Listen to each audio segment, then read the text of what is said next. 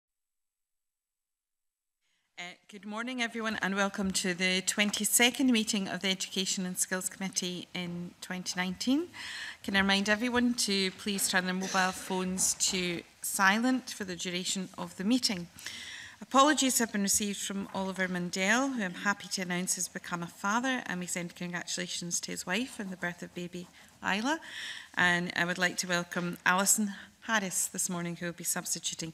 We've also received apologies from Tavish Scott, MSP.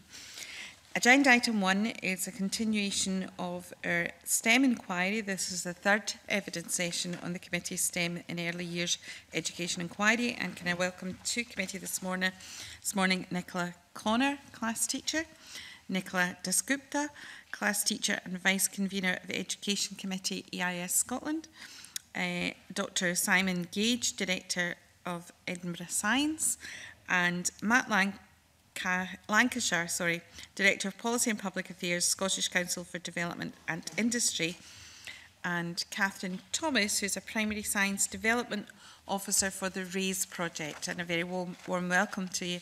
Can I maybe begin by asking you just to give a very brief outline of your experience in this area and if we could come to you first, Ms Corner. Uh, yeah. I'm a primary teacher in Peel Primary School in West Lothian Council. Um, I am currently primary one. I, I have an interest in early years. I've taught from nursery to primary three. I'm currently at the end of my master's in early years pedagogy uh, with my dissertation focusing on to what extent is it possible to teach science through play with a play-based pedagogy? Um, and I'm also the um, science development officer just now for West Lothian with my remit as the CERC and Primary Science Teachers Trust Sustain and Extend programme after being the lead on the cluster programme as part of the CERC as well. Thank you. Uh, Ms Desgupta? Hi there. Um, I, uh, I'm a primary school teacher. Um, I teach primary five at the moment, although I've taught across all areas of um, uh, the primary stages. Um, I'm interested in STEM in terms of how it fits in across the curriculum in a kind of broader sense. Uh, and I wouldn't say I consider myself to have any kind of specialism in it, other than, you know, just being interested as a teacher.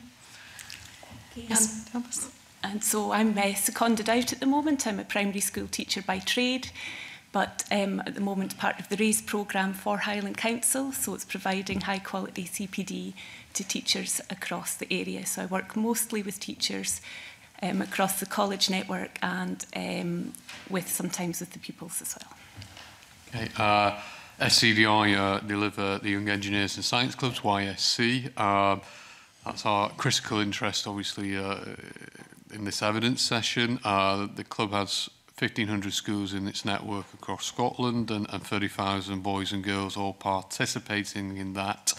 Uh, the clubs are there to infuse uh, an interest in STEM uh, through hands-on STEM projects, encourage young people to make good subject choices around STEM as they come up, and better inform uh, young people and teachers about the range of careers available in STEM. Uh, uh, particularly with the AI and data agenda upon us and the fourth industrial revolution, and critically to encourage uh, more girls to uh, pick up STEM-based subjects and participate within them.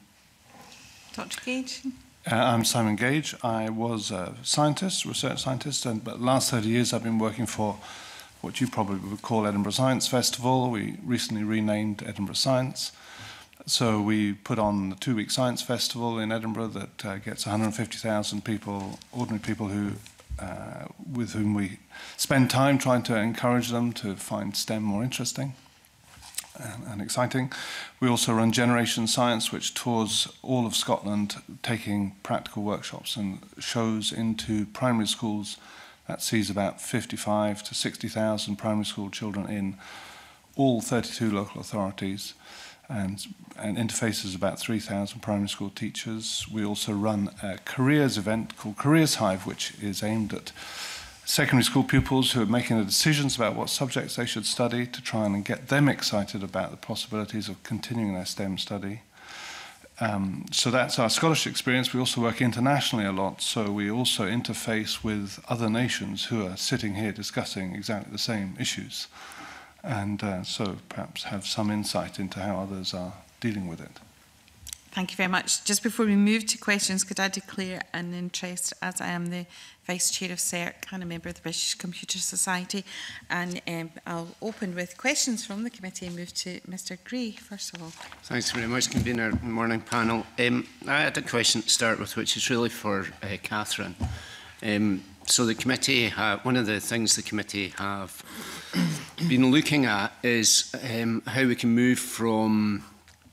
uh, programs and pilots and so on to um, bringing STEM learning in early years and primary into the mainstream.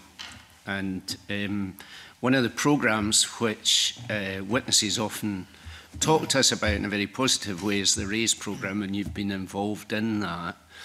Um, and that's good, but in your evidence, you say that next year there's no funding for your programmes. So um, is that not an indication that the work you've done is going to to go to waste, really? Well, when we looked at the, the external, the Robert Owen Centre did an external evaluation of the RACE project, and what they, their findings said that um, the RACE programme has worked really successfully when local authorities have got behind it. Not to say that Highland Council hasn't got behind it, but there has been a funding issue within Highland and that it's austerity uh, budgets and that at the moment lots of additional sport needs posts are being cut. So there isn't a way that Highland Council is going to fund a development officer to carry on. So we are looking for external funding to continue it. The RAISE programme is very keen for us to continue and if funding is secured, we can still be part of the RAISE network but it's just that the external funding to secure the salary for the posts won't be there. It would have to come from external funding. So, so you so, are the raised development officer. So you've been yes. seconded to that role. Yes. So if you can't find external funding, you'll go back yeah, to go back to classroom to teaching. teaching. Yeah, which okay. feel we have. It's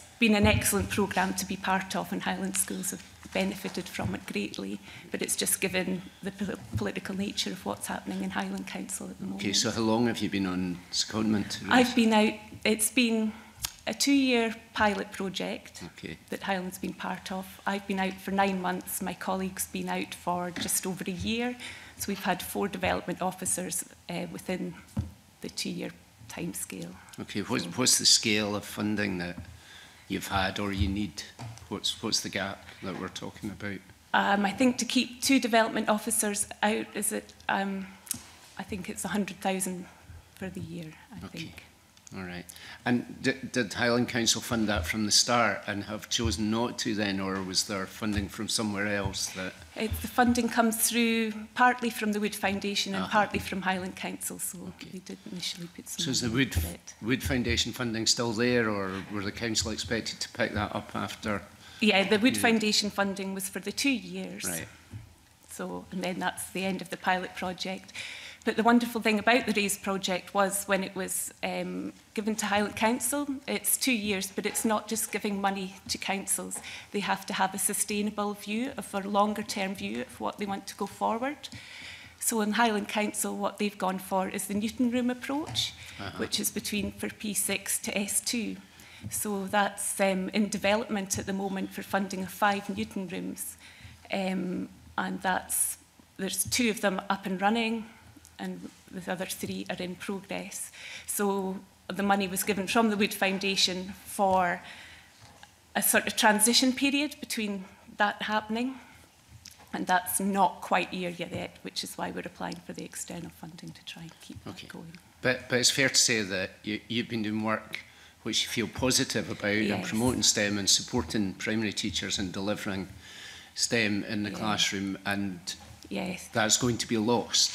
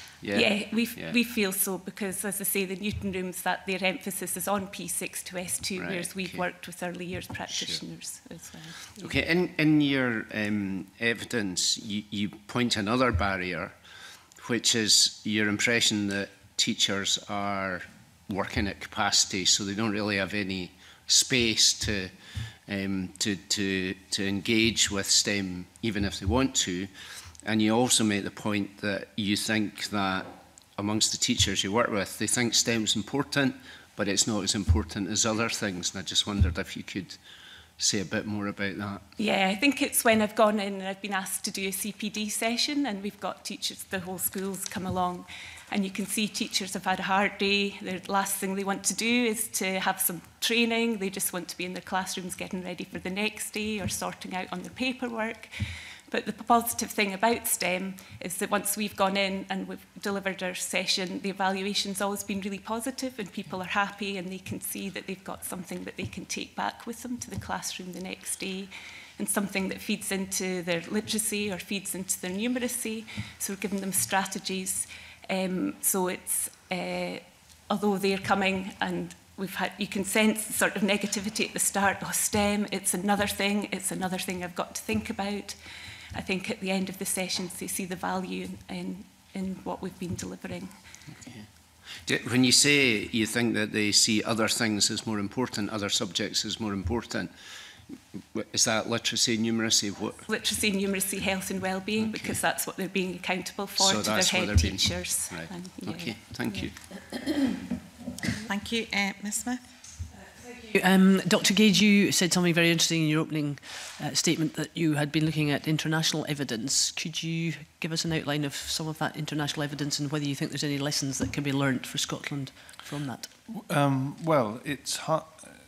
So what, what I experience, I can share only my experience. So if I sit in a room of people from Ministry of Education in Malaysia or in Indonesia or Singapore, they're all talking about exactly the same issue. There's some I mean, there's some very good research done. Uh, I would point you towards the Rose study, for example, that maps the attitudes of young people towards STEM subjects by the level of affluence of a nation. And as a nation becomes wealthier, the interest in science, technology, engineering, maths diminishes.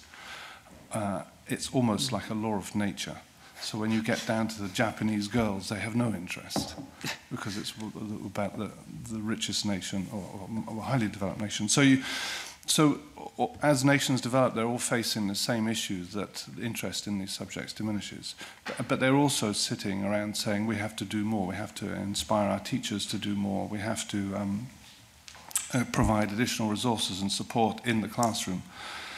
So I suppose the thing that you come back with is is some degree of terror, really, because whilst we have a, you know, perhaps one might regard it as a head start in terms of uh, the great history of science and technology in a country like Scotland, the rest of the world is, is overtaking us, or, or at least our, at, our, at our heels, and dealing with it in exactly the same way. And so if one were to think the, this discussion relates in part not only to the sort of the the inspiration of young people and the, and the their acquisition of useful skills, but to the wider context of of the vibrancy of a nation.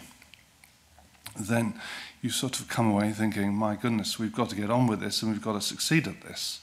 We really do need an education system that produces the best out of everybody, because if not, we're going to be left in, in the lay-by.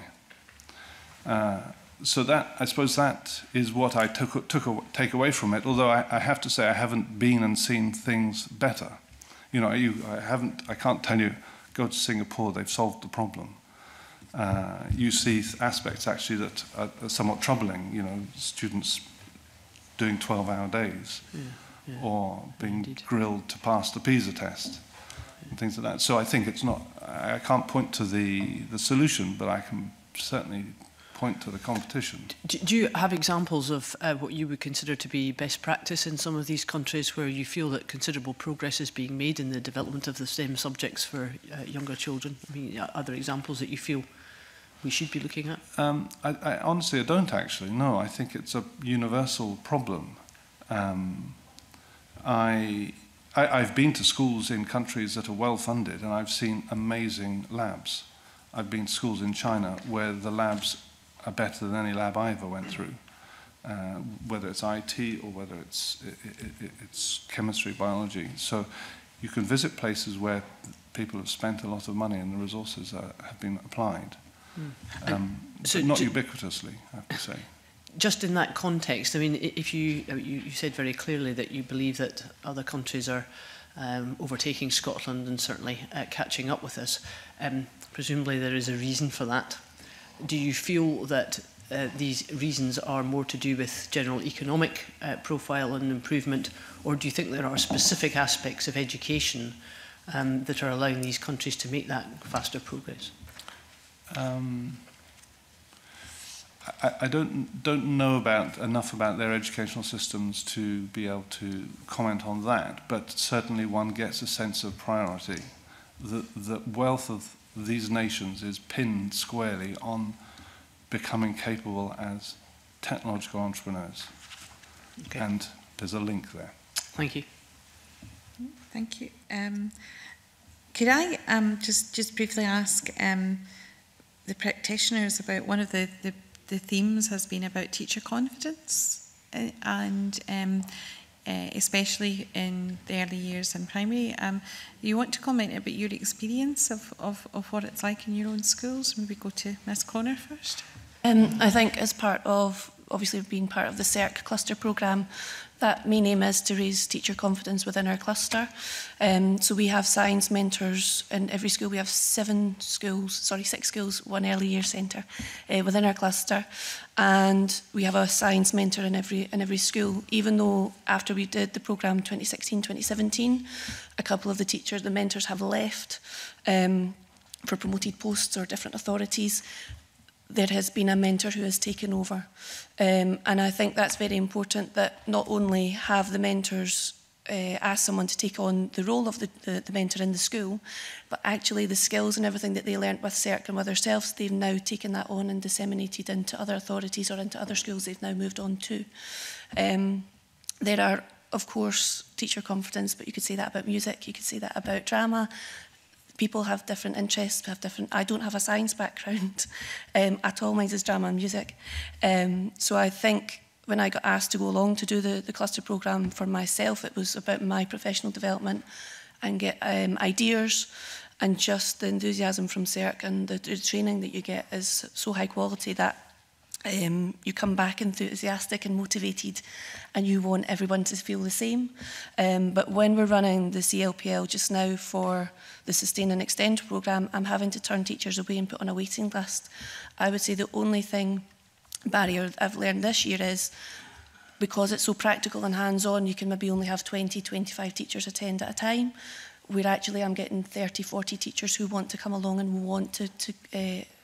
their skills to be progressed or to learn new ideas. Um, the most successful one we had was at Christmas. We ran the science mentors throughout the authority, ran a science with Santa. we had mince pies, cups of tea, um, very informal, so that people didn't feel threatened. They could come along um, and they could dip in and out of activities, take ideas away, the professional dialogue is there between other teachers. Oh, I've tried that with my primary four. Have you tried this? And I think that builds on teacher confidence, knowing that there are people in the authority, in their school, in their cluster, where they can go and just have an informal chat at the end of the day, or a probationer, I've got to teach this this term, have you got any ideas, is there any ways you could help, is there any resources? Um, so I think having our mentor network has been really important, I've found. Thank you. Ms Statskook? Um, I think teacher competence is a big issue in STEM, uh, and I do agree that you know um, the approach has been quite variable across different authorities and different um, experiences for teachers. Um, unfortunately, where I am, there is no there is no real kind of mentoring approach. Um, and while we, whilst we have had training, um, it has been, I think, of variable quality. Um, I think there was a really big push a couple of years back about STEM uh, within my, my own local authority, um, and there was a lot of um, time given to it. Um, but the, the approach that was given, it wasn't small groups where, you know, people had professional dialogue. It was a, a big room of 100 people with, you know, various people sort of talking at you and giving you a, a kind of way forward to, to take on a certain initiative. Um, but there was no real follow-up with that. So if you, if you weren't particularly sure, if you weren't particularly confident, there was no one to really go and ask. Uh, and teachers were all at the sort of same level of, we're, we're kind of finding our feet, our, our way through this, but we're not quite sure how. Um, so I think there, there maybe needs to be a, a kind of a um, more consistent approach um, within STEM and within you know C CPD generally.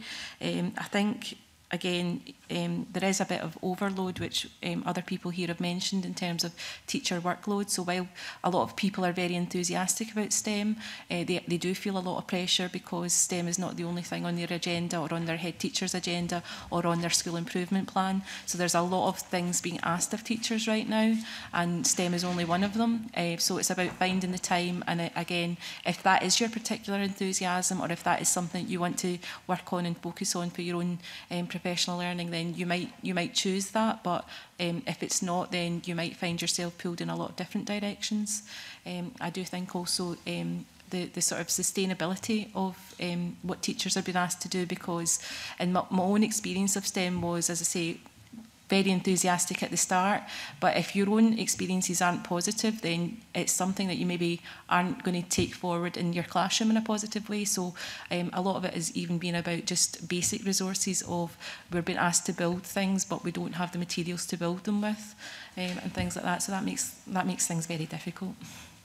Okay, Ms. Thomas. Yes. Yeah. I'd just like to add to that the CERC, um, the CERC cluster mentor program's been really highly well received in the CERC um, remote delivery that Highland Council have been able to access, even though they're miles from Dunfermline. That has been really positive impact on um, teacher confidence.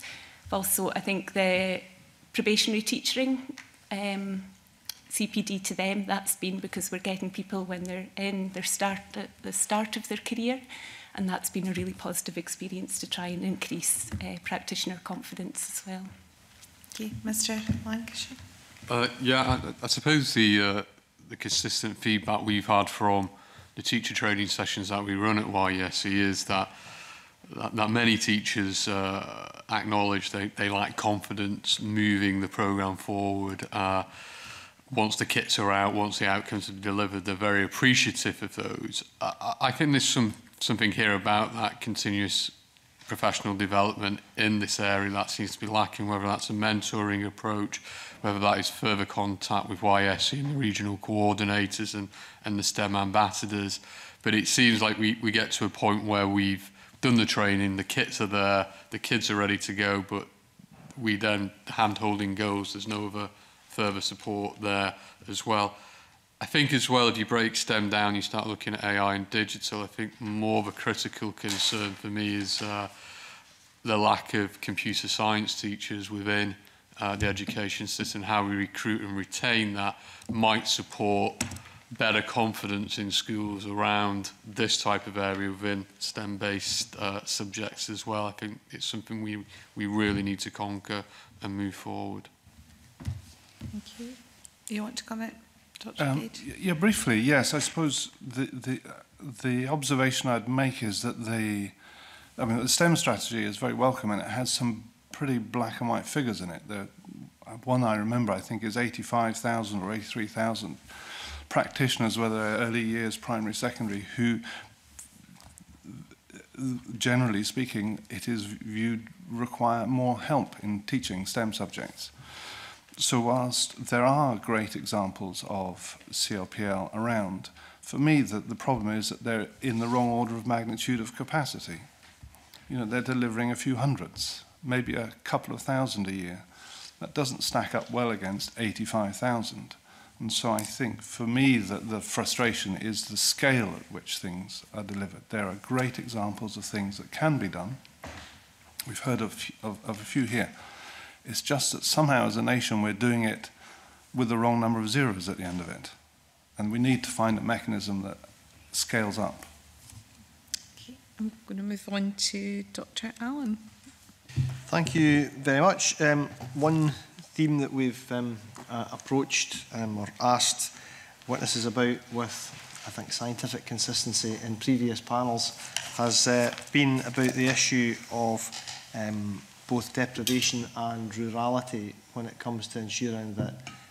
um, children, young people have uh, equal access to science in, in school.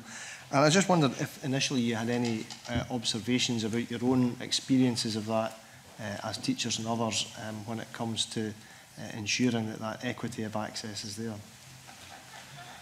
when, uh, when we run uh, training courses, we'll run one in Inverness, which is most central for the most teachers in our area, but we actually go out to rural areas. And so we've had some, it's small numbers of people, but people are so appreciative that we've gone out and we provided the CPD. So we're there and we're able, as Nicola said, that discussion element, which is so important, getting people together. We're also trialling out remote delivery so that uh, we're using Highland schools have been given Chromebooks So we're um, using the, the Google Hangout, Google Meet facilities to try and, um, again, it's can, then it can be individual teachers who can't manage even their nearest school half an hour, three quarters of an hour away, so they can't get to an evening session evening, but to provide them with some um, some high quality input. So that's what we're trialling at the moment. Yep. Um, I think um, the issue of deprivation is a, is a really big one. The school I work in just now has quite a mixed socio-economic um, sort of demographic and um, we find that um, there's huge issues. We, we were given a lot of PEF money and, and other funding um, and it hasn't it hasn't really touched the sides. Um, when it comes to um, initiatives like STEM, again, we're, we're, we're up against it in terms of materials and things like that. Um, and I think um, other, other issues are things like homework because uh, a lot of what um, we sort of rely on is children being able to access stuff at home online. A lot of children don't have that. Um, and a, a lot of the things that we rely on as well is parental involvement and parental engagement. And a lot of um, times parents either can't, you know, for practical reasons that they're at work and they're working shifts and they don't have time to sit, you know, and talk about, you know, various bits of homework with children. And a lot of time parents don't feel confident in engaging with these kind of subjects because it wasn't something that they had strengths in themselves when, when they were at school. So I think there's huge issues around um, deprivation and the sort of inequity of the sort of access to science-based um, teaching if I may pick up on, on that very point, I just was curious uh, to know also whether um, there was any good practice, I'm sure there is, amongst schools uh, in actively trying to engage that parental group of, of parents who don't have confidence about talking about science at all, or, as you say, for reasons of deprivation, may not have had a, a good experience of, of, of education themselves. I'm not, I'm not too sure about that particular group. Certainly my own school, we do try to have parental engagement and we do have a lot of that. We have, you know, people who are, um, you know, pharmacists or whatever coming in and, and trying to engage with children and things like that. But I think there is, is um, the kind of inroads to, to with parents who are, you know, not confident themselves. I think that's been quite a slow, a slow um, uptake, uh, and I'm not really sure what the solution to that would be. Um, Mr Lancashire first. Just call me Matt, it's fine. um, just, just very quick on the rurality side of things. It's, uh, obviously, it is an issue in terms of uh, the geographical nature of Scotland in terms of access to young people and the STEM opportunities and, uh, uh, and the YSC e clubs, but at SCDI, because of our um, committees, our Highlands and Islands committees, our North East Committee and our South of Scotland Committee coming on stream soon, uh, we take a real pride in terms of that geographical engagement with schools. So right now in Shetland Isles, 79% of primary schools are now I've got a registered YSE e club. 100% of secondary schools have a registered YSE e club. Likewise, in, in the Western Isles, 83% of primary schools have got a YSE e club and 100%. I know what you're going to say there, but you know that that's exactly where we are. But and we want to expand that and continue that engagement. I think the issue is is how many children come along to those clubs and, and, and actually participate. That the, there is infrastructure there to support uh, via the YSE clubs. It's how we encourage and motivate the children to come along. And at the second time, that might be alluded back to, to Nikki's point around parental motivation and support for their children to participate as well. But the infrastructure's there. Maybe there's a role for YSE in that in terms of the ambassadors uh, and the coordinators to help in, uh, in terms of that motivation and, and spreading that message amongst parents and, and the wider communities um, in these far-flung areas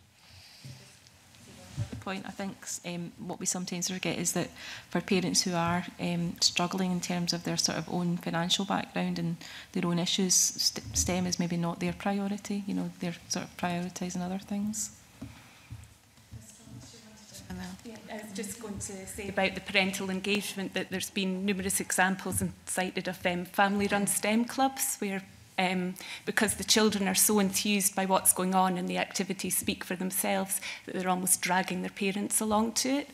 Again, a barrier to that is that I suppose it relies on an adult, a parent in the school, or a teacher, or a STEM ambassador to, to give up their time to run it. But when they've been run and they've been run successful, just um, fantastic response to STEM and the activities and that parental engagement. Connor, did you want yeah. In terms of uh, my own school, I think we're very lucky that parents do come in and they are engaged. Um, we have, I think, all parents as partners in learning.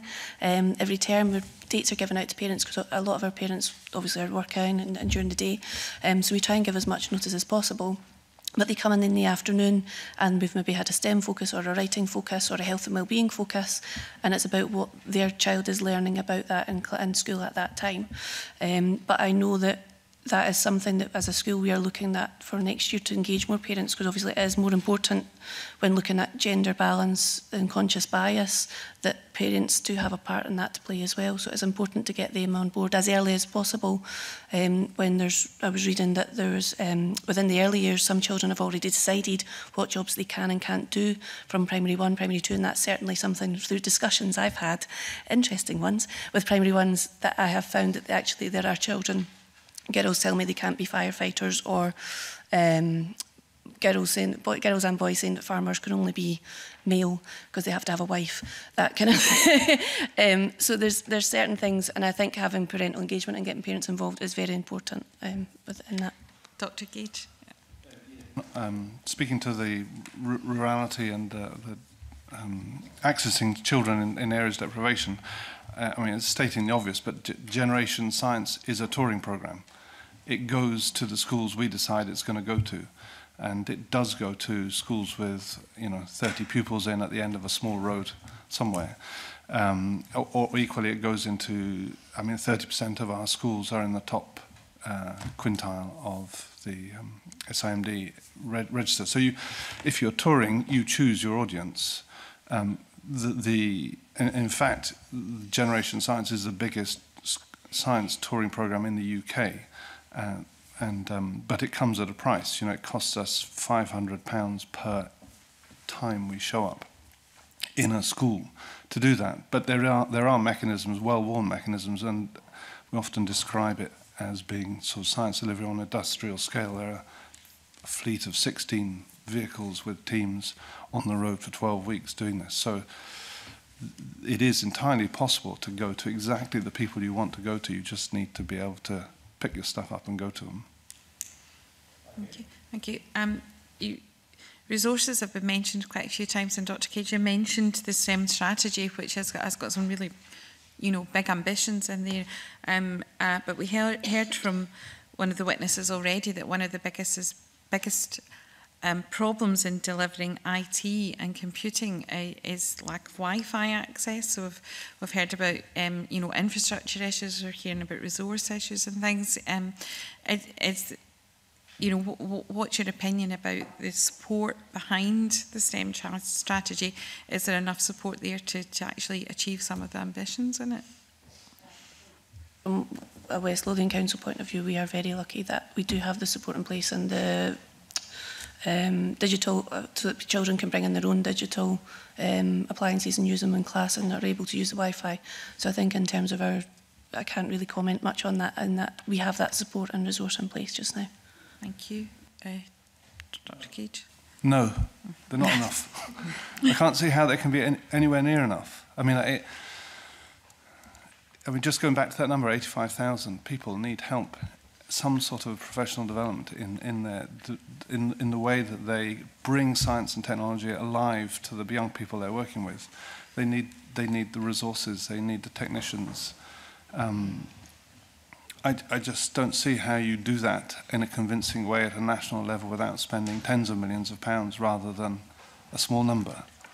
And coming back to the question from about the international perspective, one thing you do see is other people spending tens of millions of dollars, whatever it is. Um, so I, I, yeah, and I've sort of watched this this discussion for 30 years in Scotland, and I have to say, many, whilst the STEM strategy is extremely welcome, it feels like a rerun of things that have gone before. And I think if we really want to make a difference, we have to take this much more seriously and put much more resource into it. Um, I'll take Mr. Lancashire and then.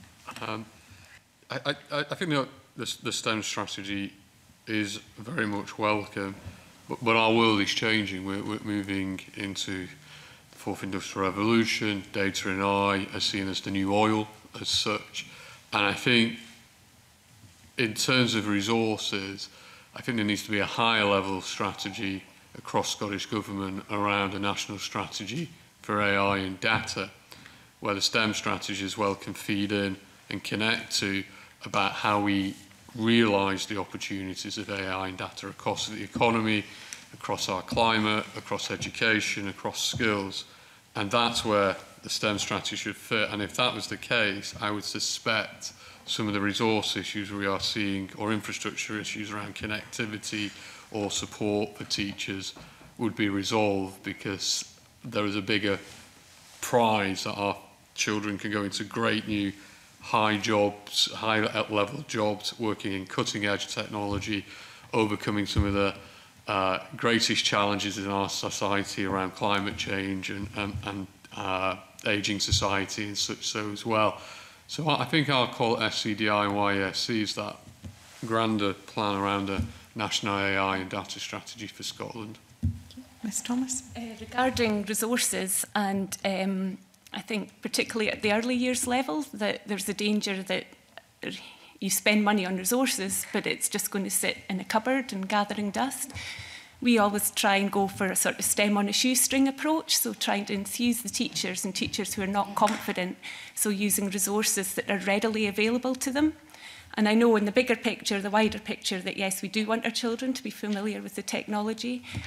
but if we don't have the practitioners who are confident using it yet, let's start and get the practitioners enthused about STEM and what they can do with STEM and what's within their capability and the resources that are around them.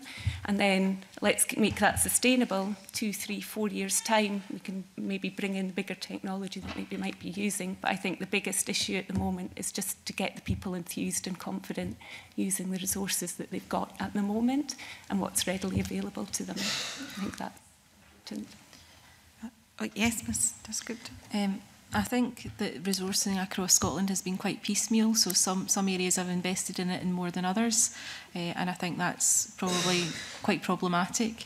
Um, I don't really agree with my colleague here about you know resources sitting in a cupboard because as a teacher any resource I'm given I, I grab it and I take it and I use it um, so I, I, think there needs to be more investment in it and I think um, we've suffered a lot from austerity because it's not just teachers in classrooms there, there's a knock-on effect with things like technicians in secondary schools and I know were here to talk mainly about primary but you know when technicians are you know um, few and far between on the ground or they're not no longer employed during the holidays and they can't maintain equipment or or they can't set things up for teachers or they can't you know do, do the things that they used to do it does have a knock-on effect and again it is another kind of workload issue as well for teachers so I think there's I think that it needs to be looked at in a much more broader sense um, instead of just you know it's not just about you know having batteries and having chemicals and having whatever you need to hand it's about a bigger picture approach.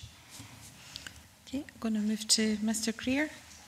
Convener, um, I'd like to come back to the issues around deprivation, but I suppose this first question would apply to deprivation, morality, issues around gender.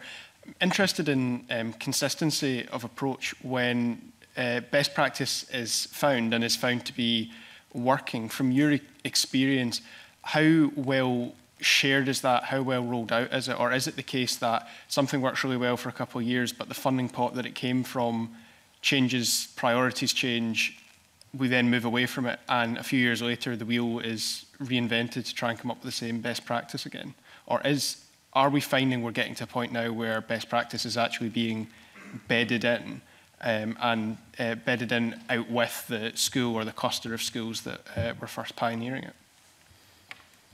Mr Scoobie? Again, I think it's very variable because my own local authority, I think, are still kind of baby steps towards things like that. And you talked about changing priorities. I think that happens quite a lot because we're asked to um, focus on STEM, but my colleague mentioned earlier, literacy, numeracy, health and well-being are, are what's on everybody's schooling improvement plan.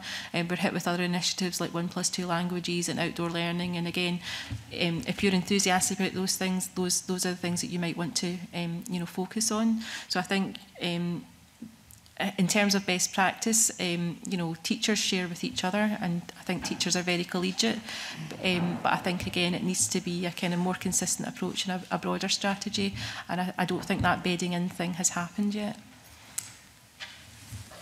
I would say from experience from the cluster programme, which we did 2016, 2017, we still have our cluster mentors continuing even though the programme is finished and out with the, the sustain and extend programme we're doing just now, we still continue to meet and we still continue to look at plans or progression or transition for the primary sevens into our, our high school.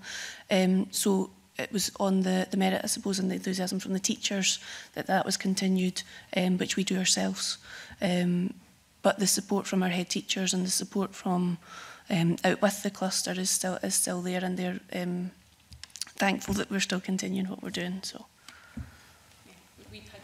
tried um, a cluster approach in Highland, but we've suffered from staff moving on. So we've had issues that we haven't been able to have those discussions and that get together. But that has been the beauty of being part of the RAISE network and that we've seen good examples elsewhere and we've been able to share them with people.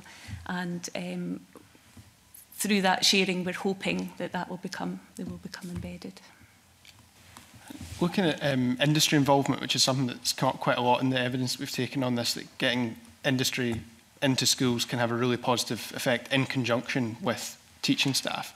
Um, there's an obvious challenge there when it comes to rural communities for whom the, some of the industries that are relevant are, are not particularly proximate to the schools.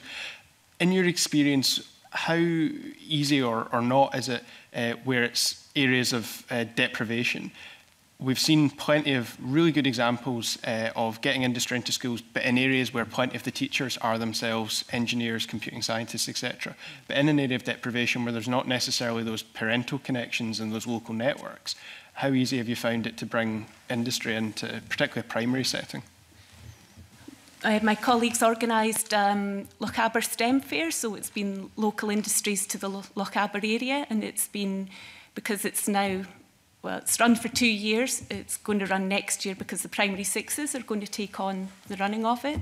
And that's proved really successful in getting the Lochaber local area industry into that um, because it's run one year and then it was again bigger the next year and hoping it'll be bigger again next year. So there are ways of doing it. There's able.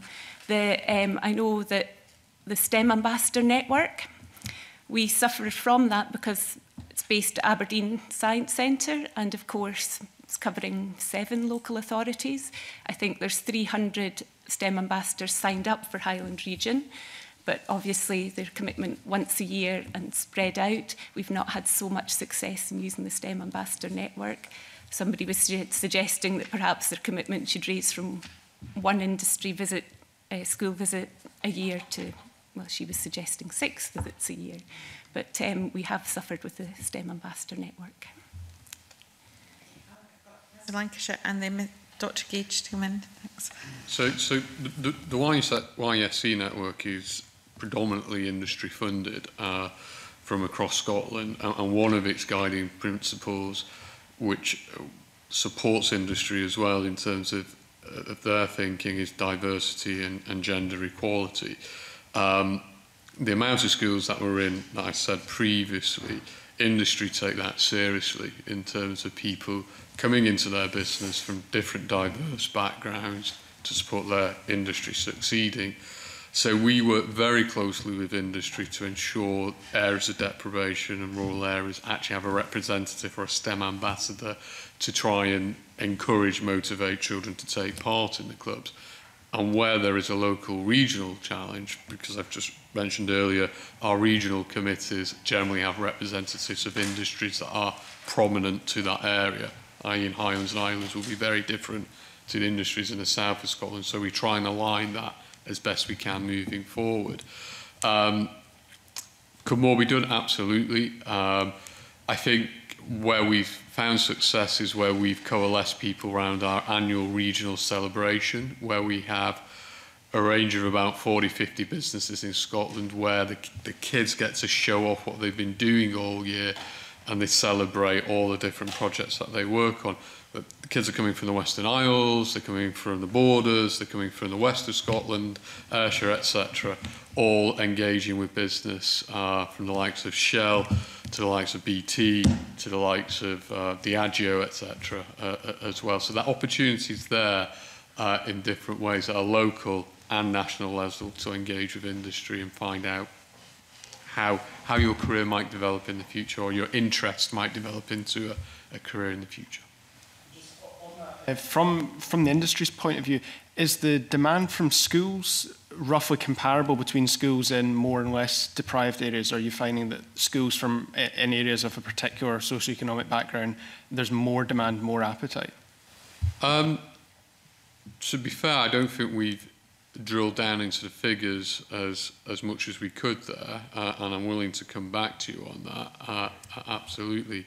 Um, what I would say is that we we go out to every school that we can do, no matter class, background, geography, and try and engage with the teachers and the children to try and give them the opportunity to engage in uh, an interest in STEM and progress their opportunities within that. Um, but yeah, we can drill down a little bit into those figures, but we certainly don't self-select the schools we work with, hence why we're in the Western Isles from a rurality perspective, hence why we're in some of the toughest neighbourhoods and areas in Scotland trying to provide this great network, and um, that's been industry funded for the past 35 years. Dr. Keats, you wanted to come in and yeah. a couple of... I, I think you put your finger on a difficult problem. How, how do you get industry specialists into schools in areas where those industries aren't represented? I, I don't know the answer, um, but echoing Matt, Matt's example, our careers event aimed at secondary school pupils, not primary school pupils, um, does a fine job of exposing people who live in rural communities or, or areas where a certain type of industry is prevalent to a great breadth of industries by bringing them to one place. So we bring them into Edinburgh and we have busloads coming from Lanarkshire, the borders, even from, I think, even from the Highlands. And they're exposed to people who make satellites, they make um, whiskey, they make um, all sorts of te techno technological things.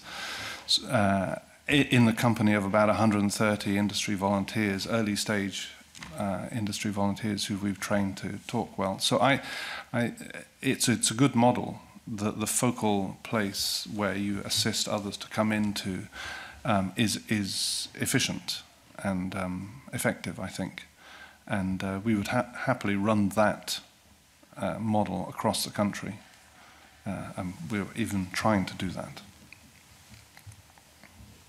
Ms. you wanted to come in. It was just, um, I have to disagree about the STEM ambassadors. Uh, we have uh, STEM East, who have been fantastic in coming across to schools across West Lothian, who have organised and they um, have taken part in teach meets in West Lothian to share what they do with all the schools in West Lothian. Um, I think we've had various engineers, different uh, scientists come into the school Um, but also, I think taking part in the Primary uh, Engineers Leaders Award um, as a whole school approach, getting whole school about different types of engineering, I think has been really important. And again, that practice um, has been shared with schools across West Lothian. And I know other schools this year have taken part, maybe in more deprived areas in West Lothian, um, having enjoyed having the experience of the engineers coming in, being able to ask them questions about their jobs and the skills that they've been doing. Um, so they found that very valuable as well. Mr. Gupta was wanting to come in. I'll come to you after that, Ms Thomas. Thanks. Um, as a teacher, um, I really welcome and value partnership with industry and partnership with business. But I also really value um, the fact that education is not just about employability. Education is wider, you know, and it's about, um, you know, the whole person, the whole child. So I think we need to remember as well that, you know, not every child is going to be STEM focused and that we need to um, celebrate and support children who are interested in other things as well. And even those children that are interested in STEM might not necessarily um, segue into a STEM career. Um, so it's not just about um, business and industry; it's about a wider a wider thing. Thank you. Ms Thomas. It's just great to hear that the STEM Ambassador Network, I think it's that Highland's suffering, well, not just Highland, the Northern Alliance area, again, that's where the rurality comes into it. But just wanted to add that I think um, the tide's changing. The industry seems so keen to get into schools. And we've had initiatives where we've had like the Academy 9, so we've got big infrastructure projects and the engineers and the work that's gone on into all the schools in that area has been incredible. Again, with the A96 and um, Port of Cromarty Firth, which is undergoing revamp and all the industry that are associated with that revamp, so keen to get out into areas in those um, in that sort of deprivation areas and working there. Thank you. Uh, Ms McKay? Thank you. Thanks, convener. Yes, I wanted to return to um, something Nicola Connor was talking about, um, gender stereotyping in, in early um, early years in, in primary. Um, we know that gender stereotypes are, are deep, deeply ingrained. One of our um, witnesses, um, Elizabeth Kelly, had said that um, teachers them she thought teachers themselves are still learning to better understand their own unconscious bias so i wonder Uh, if you think there's enough training going into early years and primary um, training um, about, you know, encouraging teachers to overcome that and, and uh, you know, to see it through and, and also how do you carry on if you, if you can um, have a successful um, pedagogy around um, um, early years, how does it carry on to primary when the pressures on teachers become, you know, different? In terms of training, I don't think there is very much, if I'm honest. Um, it's only through either reading that I've been doing personally, through everything that I've been doing in the, the authority or the cluster. Um, it's coming into contact with people like Heather Earnshaw, who's been looking at the gender balance. I think she's now Education Scotland as well, um, and having good discussions with her. Um, and just making people more aware um, of and staff of possibly that they have an unconscious bias and that there is some things that maybe from their culture or their childhood that might impose upon um, how they're teaching something or how they're, they're disseminating it in a classroom.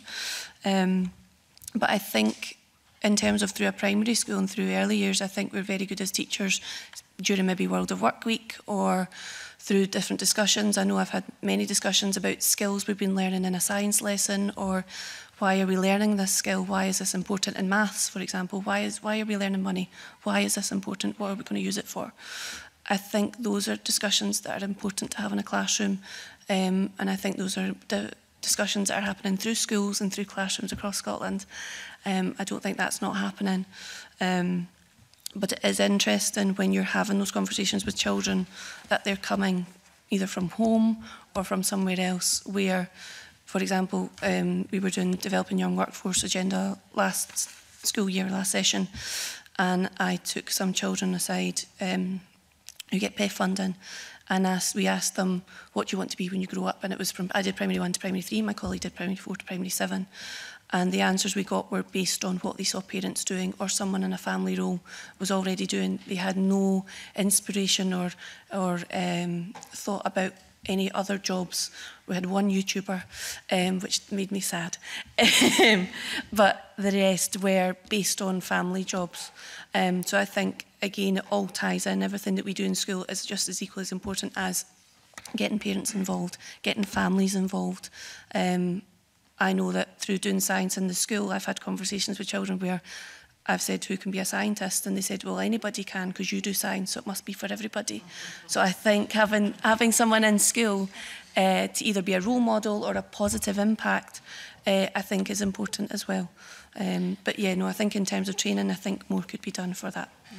Because obviously, you, you know, you're a key, key influencer, obviously, outside of the home, but do you find that you, you can take the parents on board or do you get any resistance?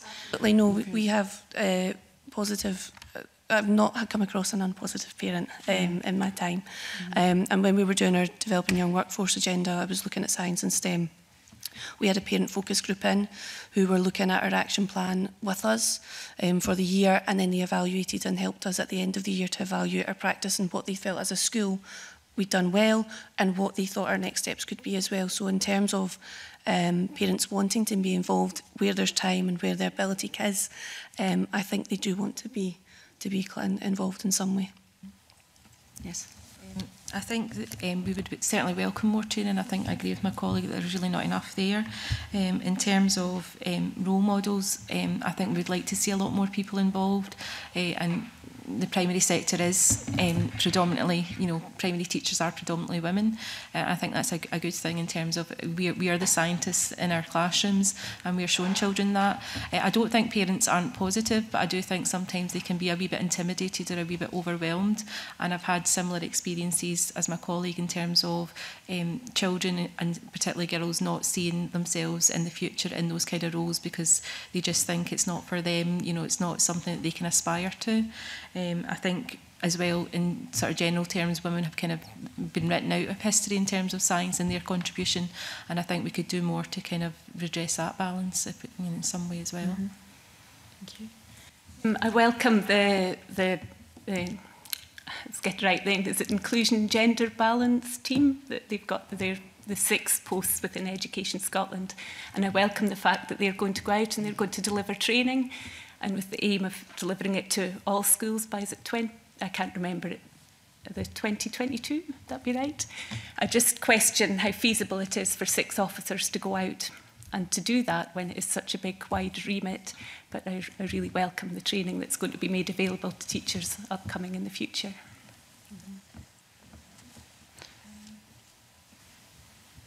Anyone else want to? Yeah, no, no, yeah, uh, absolutely. I mean, uh, the YS is integrated a, top-down tips for teachers uh, for new to use of physics into its practices, resources and training and and live and breathe by that in terms of how they uh, communicate, engage and support teachers to uh, ensure that uh, gender inclusion is part of the initiative of YSC. E e. Um, there's still a lot of work to be done uh, in terms of the overcoming certain practices. Uh, um, however, teachers uh, need the support uh, and continued training and, and continued resources to be able to support them achieve uh, that gender diversity within STEM-based subjects and STEM-based careers later on in life uh, going forward. Can I maybe ask Dr Gage, um, internationally, is it a different picture? Um, um, Not that I am aware of. No, I think it's a prevalent problem. Actually, I refer back to the ROSE study, which is a body of research that actually unpicks some of this and identifies why it is that young women get turned off from science. And whilst I don't know the research inside out, one of the aspects I do recall is that they, they regard it as antisocial. It is not sociable enough uh, and you, that comes out in the research very clearly. And so if you count, can counter some of those misconceptions about how you're going to be in, in an isolated role, you, you make some steps, some progress. Um, it, it's a common problem everywhere. There's some good work out there, I think, about providing good role models. I did see one piece of research probably 10 years ago that actually showed that children acquire, predominantly acquire their perception that science is for men only from teachers. Um, so to ask whether there should be greater training in this issue uh, in the teaching profession, I think is exactly the right question to ask. Okay. Just very quickly, and, and, it is on gender, but it's, it's wider diversity and underrepresentation of a number of different groups, whether it be ethnic minorities, LGBT groups, our uh, disability uh, uh, uh, uh, as well that we, we also need to focus on in this debate. Yes, gender is critically important, but these other groups as well are just as important in terms of we want those inclusive, productive workplaces of the future. All these groups matter in terms of engaging them in into STEM-based uh, opportunities. Okay, thank you. Thank you supplementary to Catherine Thomas about the role of Education Scotland. Um, you mentioned the development officers who, who will now be working nationally. Um, is there a role, do you think, for school inspections and perhaps for the practitioners as well to look more specifically at this issue? Um, I don't think I know enough about the school inspection process. I only know it from a, the primary school teacher level to answer that question. I actually would appreciate it from a primary teacher level because as a, a practitioner, um, you know, in the classroom. Could school inspections help to support that work, do you think?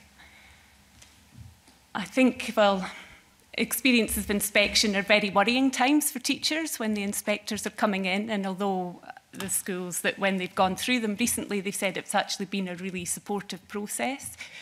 So I guess from that perspective, from people afterwards, that I suppose, yes, the inspectors could sit down and they could talk about what's going on and provide guidance as to moving forward.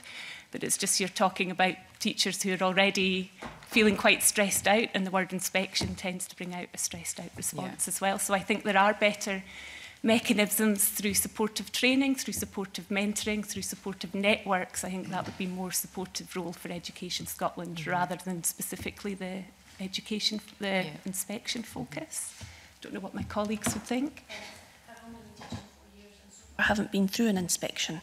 Um, so I don't know what the process is like. Uh, I can only speak on terms of I've had a, a VSE, which is council level, um, and they were very supportive. And one of the things that they looked at was teachers leading uh, developments within the school. Um, and there was a number of us, health and wellbeing, STEM, DYW, that kind of thing. Um, and it was discussed about why we felt, how we supported, we felt by head teachers, about by the council, um, and it came out very, as very kind of positive and that what we were doing as a school, um, being teachers of change and, and doing it that way, um, was very good. But in terms of support or things, it comes from that comes from my SLT, it comes from higher up my education officers within the council, um, who have been very supportive, I have to say. Um, so again, I I don't know from an inspection point of view. As, as, as yet, touch wood, I haven't been through one. teaching for about 15 years and I've been through two, two school inspections um, and my colleague is right, it can be stressful and it can be a bit of a worrying time. Um, my own experience is that Education Scotland don't really take on that kind of role. Um, it can be quite remote sometimes from the classroom teacher. They're involved quite heavily with senior management and yes, they do come in and observe you. You, you have an occasion where you can um, get some feedback, but there doesn't seem, there, there's not that sort of dialogue where they, they tell you um, how they can support you in, in driving things forward. And again, I think the focus that I've seen has mainly been on um, health and wellbeing, literacy and numeracy rather than other areas of the curriculum because I think earlier on you'd said that sharing good practice needs to be done more consistently. So I wonder, therefore, do you think Education Scotland do have a role to play there, and that they could be more hands-on in terms of offering that support? Absolutely, I think I think they, uh, there could be. I don't think the, the school inspectorate is the right mechanism for that, but I think yeah. Education Scotland could find a way. Yeah. Thank you. Okay, um, Ms Harris. I, I've been quite in, well quite interested in the idea that STEM should really include the arts and the humanities and therefore become more of a STEAM to, you know moving forward. So I know there's limited application in this so far, but I um, we have heard from the University of Sheffield that this approach has been found to be quite useful in helping children increase not only their engagement but their motivation for STEM subjects. So I would really be quite interested in asking the panel what their thoughts are on that and whether you think there's a discussion to be had around this as well.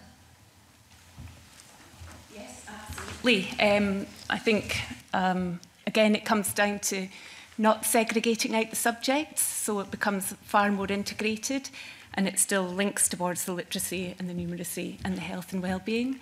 I know um, raise officers in Fife worked with Bookbag Scotland people to produce um, for the read write count bags that went out with parents and parental engagement to produce STEAM planners and um, for last year's books and that there's going to be uh, that's going to be done again this year so the books go out and there's plans that teachers can just access and they've got ready STEAM activities and that's practitioners really enjoy that really like that plan's there. It's activities that they've got confidence that they can see that they can do.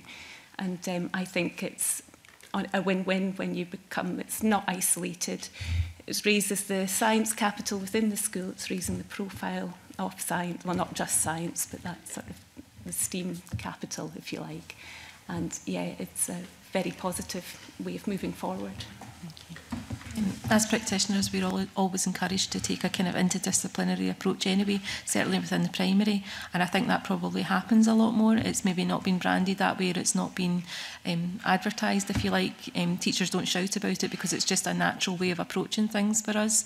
Um, so it probably happens a lot more in schools than you might imagine. You know, the sort of expressive arts and other things coming into STEM. Uh, and I do think it, it has a massive impact on children because they, they love all of all of that.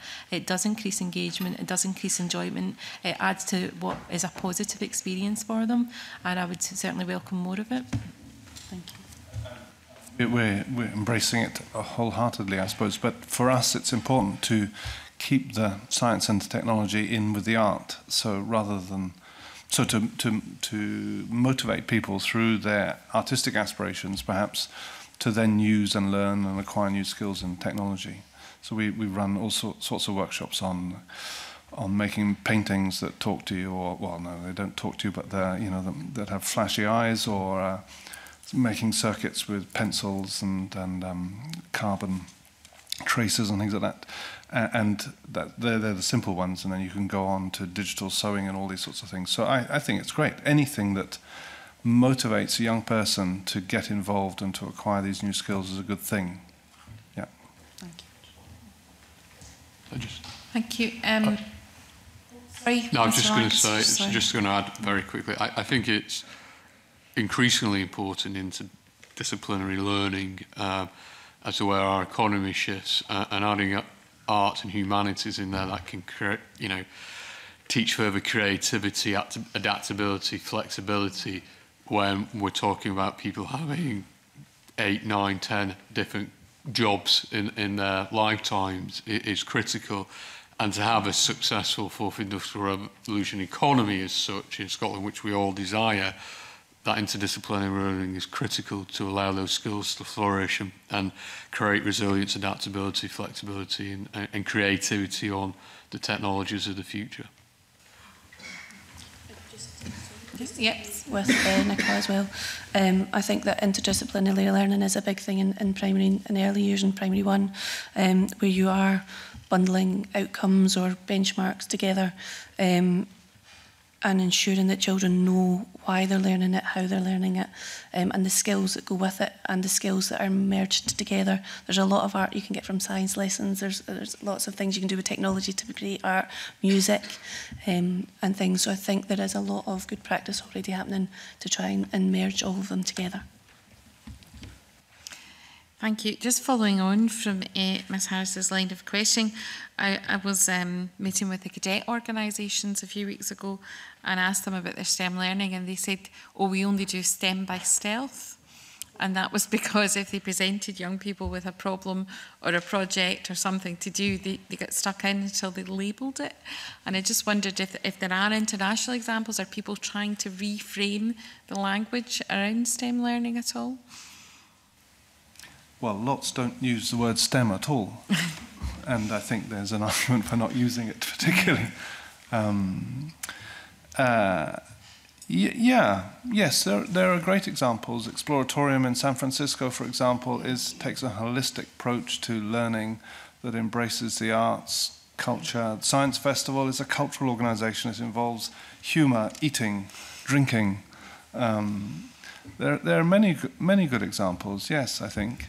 Um, I think you, you just have to, I don't know, it's tricky. I mean, I'm so imbued with sciences and technology as just part of culture that it's hard for me to perhaps get a perspective on this. I can't point to anyone particularly though I think, well, they've really solved it.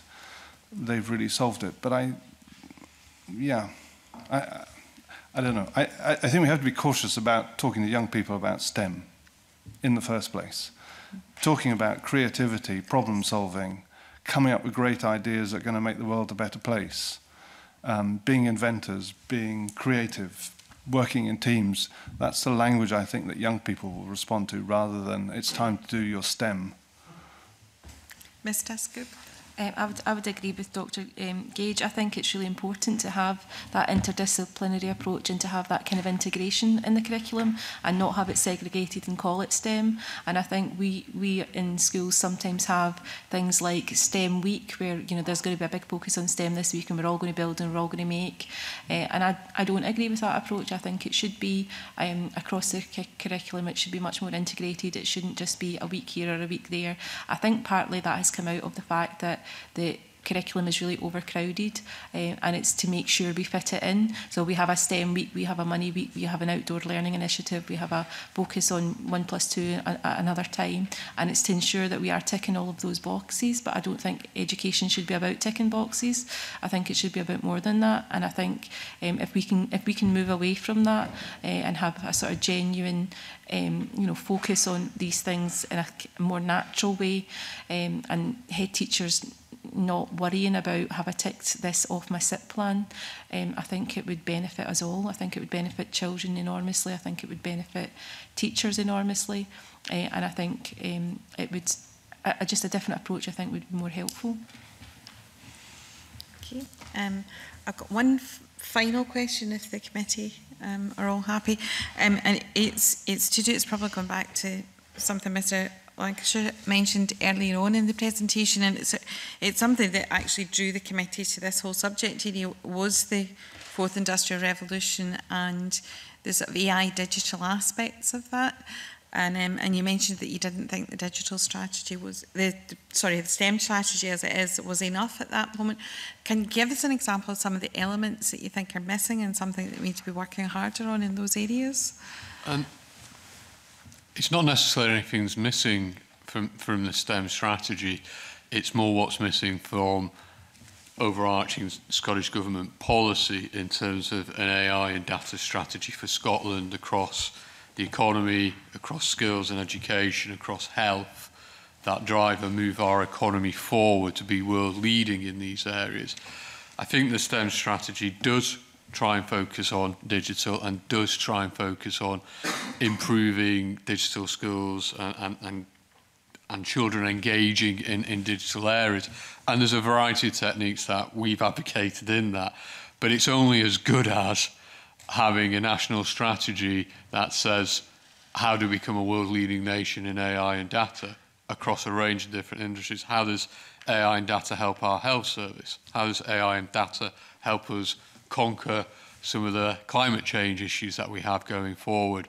And why it a theme across all Scottish Government policy in one defined strategy that supports it, where the STEM strategy could fit underneath? So it's not anything necessarily about the STEM strategy itself, it's more, more overarching. Where does it fit? why, why are we increasing people learning STEM if there's no jobs in STEM at the end of it?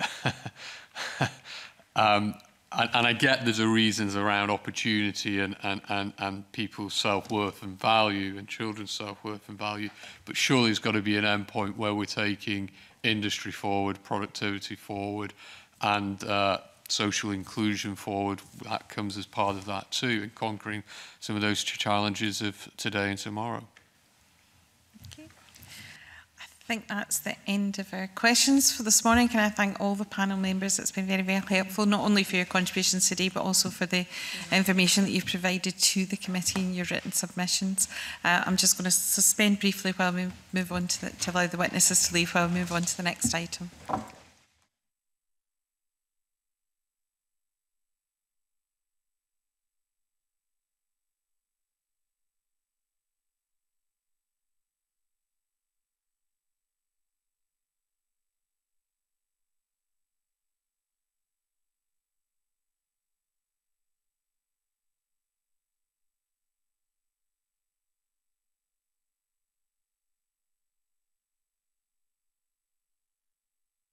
two, um, which is an EU reporter uh, update, uh, and invite Jenny Gilruth, our EU reporter to the committee, to give us her paper. Thank you, Convener. Um, so, as the paper shows, the figures there from UCAS show a decline in the number of EU27 students applying for university places in Scotland.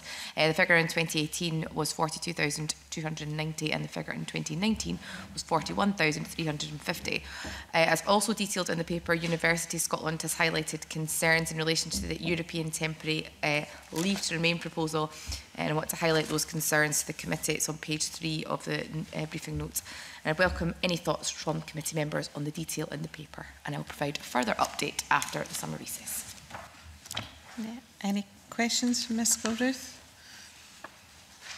Um, I, I thank you very much for the paper, um, Ms Goldruth, and, and your update to the committee. I think the Um, the two concerns that you raised in particular um, with regards to dropping numbers, but particularly the temporary leave to remain issue and the fact that it won't meet the requirements of a four-year degree, um, uh, can I suggest that we write to the Home Secretary highlighting the committee's concern in that area?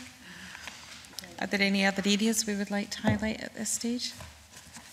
No, uh, thank you very much uh, and uh, we look forward to an update in the autumn. Again, thank you.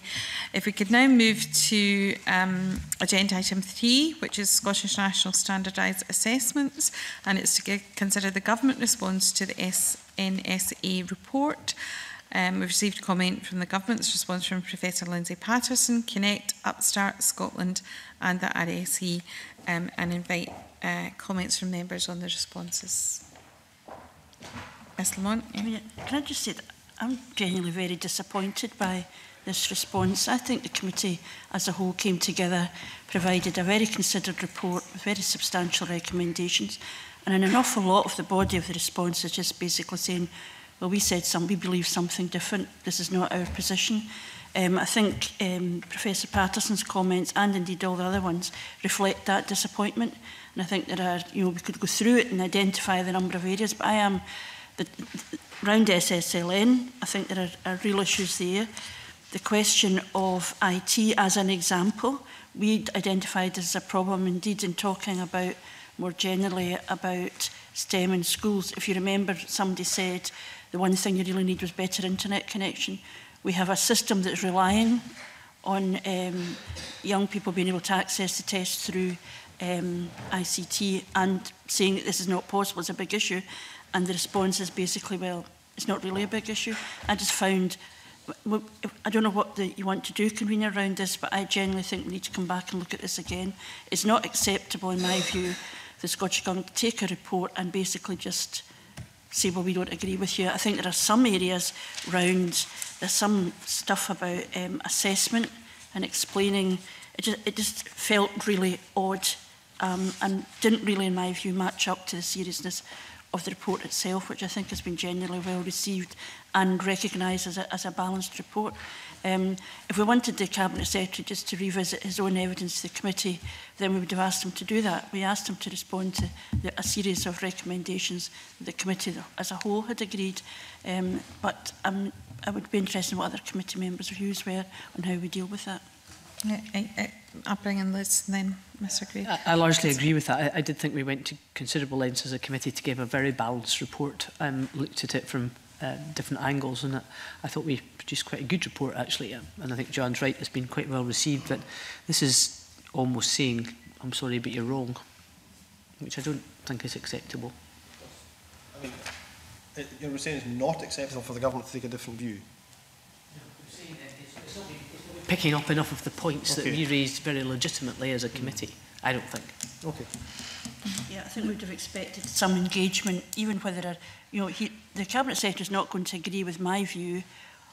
on the, the, the reality of uh, primary one testing. But that doesn't mean you shouldn't engage with the evidence that the committee had and the conclusions that we all came to. Um, I think round survey round data missing round ICT are good examples where they've simply just, you know, and even when we've said we would like to look, you know, sort of kind of um, an update on, on how it's all going, the response is, well, that's a matter for local authorities. And you, you can't really have it both ways. I just, I found, you know, yes, that, that I didn't expect the Cabinet Secretary to have a, um, a conversion in the road to Damascus and throw his hands up and say, I'm completely wrong, but I did expect him to engage, or the Scottish Government more generally to engage, with some of the more serious the recommendations, even amongst which we as a committee don't agree in the fundamentals around the testing, but we did agree on these recommendations. I think they should have been taken more seriously. Mr Gray? I think um, it, it, uh, John's right. It, it is... Um, to a degree about about the kind of tone of the response. Uh, and I, I mean, yeah, Alistair's right too. You, uh, uh, the, you know, the committee's not in a position where they can order the um, the minister to change his view, but a, a lot of the response here is simply repeating what what the government said in the course of the um, of inquiry, we considered that, we considered the other evidence, and we took a view, and it, it really just doesn't acknowledge that um, at all, I think. So I thought the tone was pretty disappointing. And I find it quite worrying because we're putting a great deal of effort in, including later today, to producing the report into um, subject choice and narrowing curriculum. And on a number of occasions, the Cabinet Secretary has said, that he's waiting to see what that report says. So, for example, uh, when the Conservatives brought a debate on that topic, he was very critical of them and said, why are you doing this to uh, the, the reports to come? Well, you know, if, if the report's just going to pass him by completely, then that, that's a bit worrying. Now, I don't know what I don't know what we do. I don't know how we make that point, but I think it's uh, pretty disappointing, yeah. Any other comments? Or Ross, sorry. Yeah, I'm, I'm not going to simply duplicate what other colleagues uh, uh, have said, but I, like everyone else, I wasn't expecting the government to come back and say, well, on the basis of, of your evidence, fair enough, we, we got this wrong. I would have appreciated, though, if they had come back and provided a detailed rebuttal of each of the points that we made or grappled with the evidence that we gathered and explained why it led them to a different conclusion. Mm -hmm that's not the case. This could, they could have issued us this document before we started that inquiry, and that's my frustration with it. Is I would expect the government to explain why, on the basis of the same set of evidence, they came to different conclusions, and I'm, I'm not seeing that explanation yet. So, so what we could do is write to the government, point them to the official report of this meeting, and the other responses to the, the committee received to the report, and ask them if they would consider um, further comment. Can, can I ask? Mm -hmm. I mean, I think that the, the point that um, Ian Gray makes about um, we can't direct government, but if a, a decision of the Parliament doesn't direct government and the committees don't direct government around policy, then there's, there's, there's a problem. We can have an argument back and forward about the policy, but if, if there's not any way in which you can actually then influence that, I think the best way to influence it is the government to be open to actually to take very seriously what the committee says. And I, I suppose my, my um, comment on writing back, I think I would quite like to have time to reflect on what I would like to see in, in that letter. Um, and perhaps people could contribute to that just as we look at the response. There are areas where, as I've said already, risk of repeat myself, we're not going to agree. But I think there are some quite serious points around, even if you accept the basic premise, the way in which it's now getting carried forward, you know, if the test can be at any point in the year, all of those kind of things. So I just think it would be good if we could all have the opportunity to feed into that and perhaps then, but I recognise that the committee all might not. We would still have to agree what the letter would be, but I just think it's, I think there's some quite substantial things that I would like to see going into the letter. Are uh, members content with that to come back on the agenda after the summer recess for a revisit? Okay, thank you. Um, Can I move into private session? Thank you.